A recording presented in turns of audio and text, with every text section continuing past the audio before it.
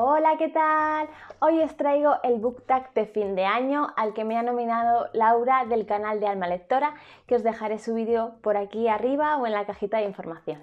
Este book tag eh, lo tradujo Mikey de un canal de inglés y son cinco preguntitas.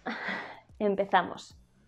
¿Hay libros que has empezado este año que necesitas terminar? Pues la verdad es que yo no suelo dejar libros a medias. He dicho no suelo. Eh, normalmente si empiezo un libro lo acabo. Y si no lo acabo es que no lo voy a acabar nunca más. Pero normalmente me obligo a acabar el libro. Vale, es verdad que este año hay dos libros que tengo a medias. Uno es una antología de relatos, entonces no pasa nada. Y otro sí que es una novela. ¿Qué pasa? Que yo tengo un problema, soy muy temática. Entonces, este libro me lo empecé a leer antes de la... No, este libro... Este libro me lo empecé a leer antes de verano. Después me empecé a leer libros de verano, después eh, enganché con libros pre-Halloween, después Halloween, después pre-Navidad, después... Mm, y le he dejado a medias y me estaba encantando y no sé qué pasa ahora que digo, tengo este pendiente, tengo este pendiente y, nunca lo, cojo para, acabar. Y es Mujer al borde de tiempo de Max Percy, em, que voy por la mitad del libro y es un tochal, ¿vale? Y no sé qué me pasa.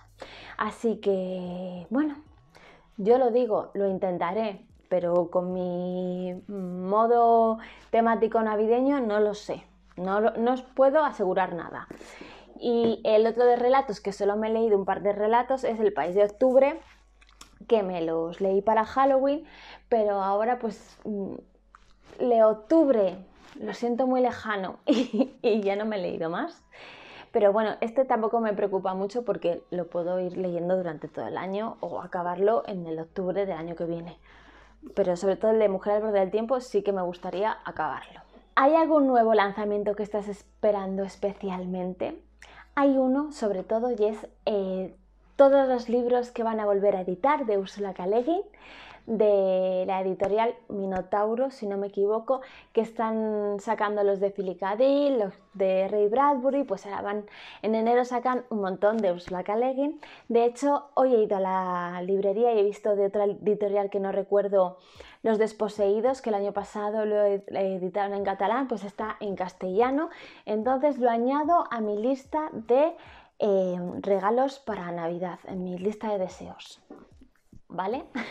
He visto también que van a, reeditar la trilogía de la xenogénesis de Octavia Butler, además con unas portadas geniales también. Y el otro día la maldita Yenra, eh, te mando un abrazo, no te preocupes, me mandó eh, que van a sacar un nuevo libro que no sé si es libro o es antología de relatos, ya no lo tengo claro porque era una story y he perdido, no hice captura y he perdido la, info del libro de Emilia Pardo Bazán.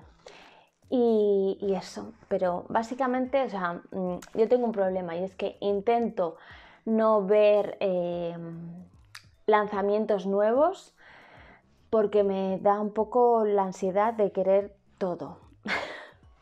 Si sois de querer estar al día de lanzamientos, sobre todo de literatura de género, de ciencia ficción, de terror, fantasía, etc., os recomiendo mucho, no sé si lo publica en su blog o en, el de la revista, eh, se me dio el nombre, eh, Mangri. Os dejaré en la cajita de información su Twitter, que es yo creo lo que más usa, y ahí podéis encontrar la información. Y él va haciendo publicaciones que cuando estoy un poco relajada las miro, porque si no me agobio de querer todo, pero es tan genial porque engloba todos los lanzamientos y la información está muy completa. ¿Qué tres libros quieres leer antes de que acabe el año? Pues quiero terminar de leer el que estoy leyendo ahora, que es La librería de Penelope Fitzgerald, todo culpa de Magrat, que lo sepas. Y nada, lo acabo de empezar porque os cuento, estamos a día 6 de, de diciembre. ¿Y qué pasa? Que yo he tenido unos días muy chungos del Black Friday. Entonces he estado los primeros días de diciembre. ¿Eh?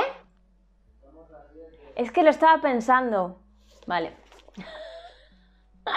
¡No me escuches! ¿Qué pasa? Que estamos a día 7 de diciembre y yo con el Black Friday, preparación Black Friday, Black Friday, pues Black Friday, pues eh, he tenido unos días que no me apetecía leer nada. Entonces lo empecé el otro día y llevo apenas, bueno, llevo 70 páginas, no está mal, pero todavía me queda. Y este es el primero que quiero acabar, que lo acabaré seguro, no me estoy arriesgando mucho. Quiero leer Reina del Grito, este, que no sé si os lo había enseñado por aquí. Creo que los últimos libros que me he comprado lo enseñé por Instagram, pero por aquí no. Em, a ver.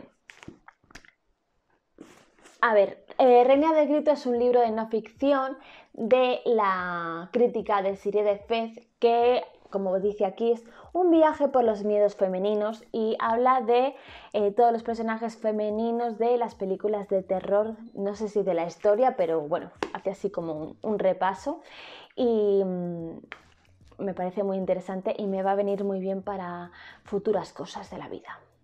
Y el tercero, pues no he decidido que voy a leer, tengo unos cuantos en la lista. No sé si hacer algún tipo de encuesta en Instagram para que me ayudéis, porque a veces mm, me saturo y tengo tanto por leer que no sé con qué empezar. Eh, iba a empezar a leer Chocolate, pero con mi talk temático, Chocolate está ambientada en febrero, entonces la voy a dejar para leer en febrero. y em, también he estado buscando antologías de cuentos de Navidad y eh, solo encuentro las típicas de Dickens y la de cuentos victorianos que ya tengo. Entonces, pues quiero encontrar un libro, mm, aunque sea un cuentito pequeño, algo así navideño para leer los últimos días del año, que siempre intento leer algo así. Y ya está. No me he arriesgado nada.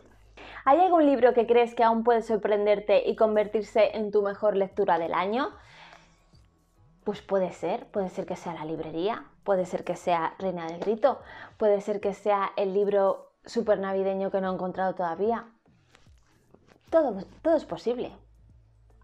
Y por último, 5. ¿Has empezado ya con los planes de lectura de 2021? A ver, es que yo no tengo ningún plan, aparte de intentar leer temáticamente, que eso es estos últimos años, la verdad.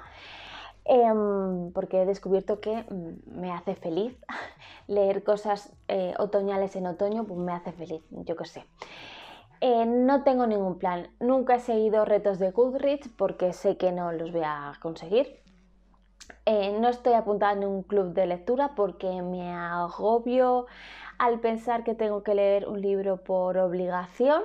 No puedo, o sea, yo voy a mi ritmo en esto soy un poco individual, lo siento mucho. Que no digo que no, me anime nunca a hacerlo alguna vez. Puede ser que sí, pero de momento no. A lo mejor cuando mm, tenga más tiempo libre en mi vida, pues oye, me animo, pero ahora mismo no me veo capaz.